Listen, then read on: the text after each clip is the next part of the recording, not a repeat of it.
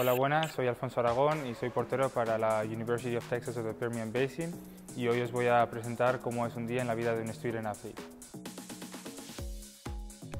Bueno, pues hoy miércoles los días normalmente comienzan con eh, la alarma puesta a las 5 de la mañana porque tenemos eh, lifting a las 6. Entonces a mí me gusta empezar el día tomando un, café eh, tranquilamente y ya después de eso pues me cambio y salgo para, para aquí, para la universidad, para estar unos 10-15 minutos antes del entrenamiento ya aquí listos para empezar. Después, una vez termino, eh, voy a casa, me ducho,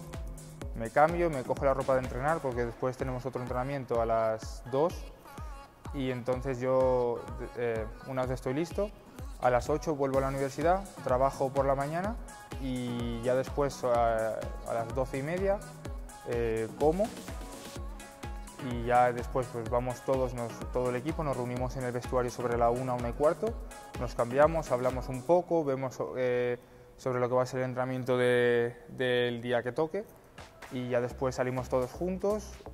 sobre la 1.45 Salimos para el campo, eh, nos preparamos, ahí nos ponemos las botas, eh, ayudamos si tenemos que mover las porterías, cualquier cosa que podamos ayudar con eso. Eh, ya empezamos el entrenamiento de 2 a 4. estamos en el sprint, entonces va dependiendo mucho de, lo que toca el día. Hay días que son más fuertes, hay días que son un poco más técnicos, pero, pero eso, eso es esa elección del entrenador.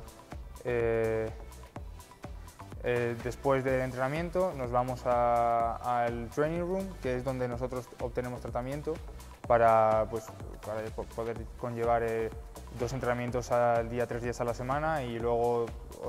los otros dos días también entrenamos. Entonces eh, es la mejor manera que tenemos para poder recuperarnos físicamente y evitar lesiones, tanto como para tratarlas una vez la tenemos.